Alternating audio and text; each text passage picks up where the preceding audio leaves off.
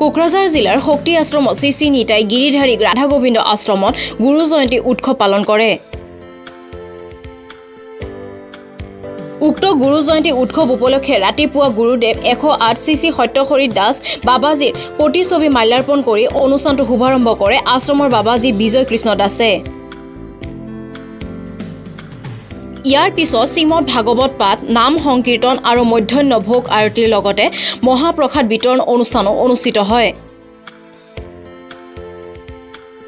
আজি অনুষ্ঠানত কেইবা শতাধিক ভক্তৰ অংশগ্ৰহণেৰে অনুষ্ঠানটো অনুষ্ঠিত কৰে। আমাৰ গুৰুদেৱ শ্ৰীৰাম বৃন্দাবনৰ গোৱৰ্ধনত তেখেতৰ আশ্রম। আমি তেখেতৰে আশ্রিত শিষ্য। আজি আমি আমাৰ গুৰুদেৱৰ যিবিলাক শিষ্য আমাৰ এই অঞ্চলত আছে চবেই মিলি আমাৰ গুৰু ভাই ভনী যিমান আছে চবেই মিলি আমি এই গুৰুদেৱৰ জন্ম জয়ন্তী আঠাত্তৰতম জন্ম জয়ন্তী উৎসৱ আজি আমি পালন কৰি আছোঁ।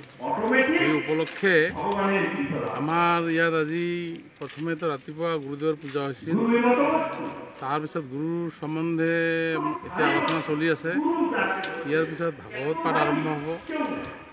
ভাগৱত পাঠ শেষ হোৱাৰ পিছত আমাৰ মন্দিৰত ভোগ আৰতি কীৰ্তন হ'ব। ভোগ হোৱাৰ পিছত চবে প্ৰসাদ বিতৰণ হ'ব। ৰাইজক আমি আহ্বান জনাই জনাব বিচাৰিছোঁ যে গুৰু গুৰু সম্বন্ধে অলপ জ্ঞান দিয়াৰ কাৰণে যাতে আমাৰ এই বক্তাবিলাকে জ্ঞান দি আছে গুৰু সম্বন্ধে আলোচনা কৰি আছে।